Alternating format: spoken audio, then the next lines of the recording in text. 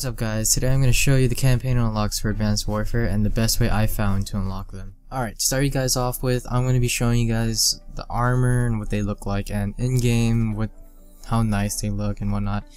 Basically they look the same thing as the Atlas infantry armor, I think that's what it's called. But um, they're just different textures and a secondary color of white, that, that's all it adds on. Um, the only difference is the helmet and maybe the um, exosuits, but not a big difference, but still, they they look they look pretty sick, and that's kind of something I like about this armor. Alright, so in game now. Um, the two helmets look amazing. Look at that, they have red eyes. You don't even see that as much in the um, the lobby, but when you go in game, you see the eyes like it, it is intimidating, kinda, not really, but still, it, it's kinda cool to have, and that's why I love this helmet so much. So does the blue one. The blue one is amazing too. It, it comes with blue eyes instead of red, so it kind of complements the armor in a way, because, you know, it's different. To unlock the blue eyes helmet, you have to beat the game on veteran. The red eyes and the other pieces of armor, you have to unlock it by doing the exo upgrades in the campaign.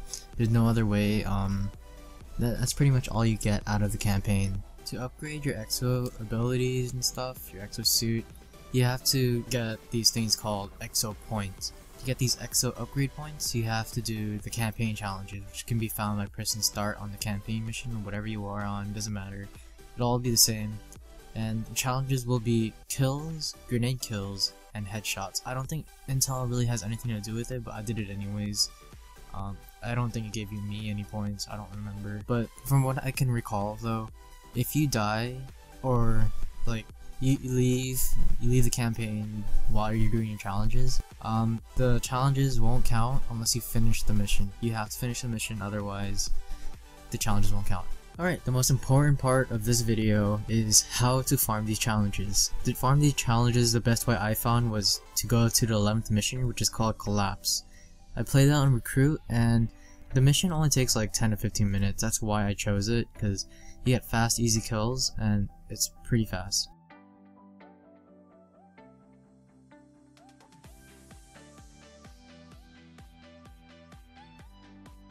Alright, the first thing you want to do is get past the driving portion of the mission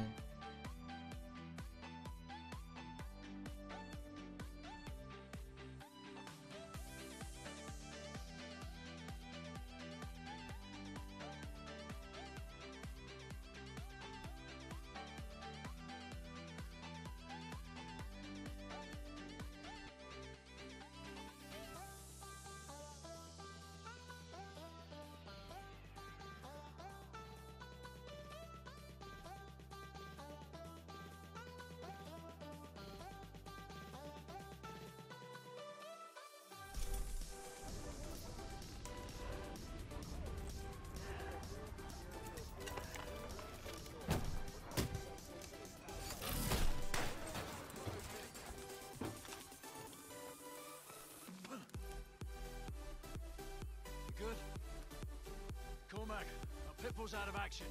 Proceeding on foot. Once you finish the driving portion, you're gonna spawn with a grenade launcher. That will go towards your grenade kills. And you wanna stick to the left hand side, because that's where um you have the most cover. I tried the right hand side, I died most of the time, I don't know how. But still. Um if you're gonna go for grenade kills, the grenade launcher counts as grenade kills, so that's that's really helpful. Try to save all your ammo and use it only when there's three people in a row. And for the headshots and the kills, those should come naturally, like, you shouldn't really have to try for those.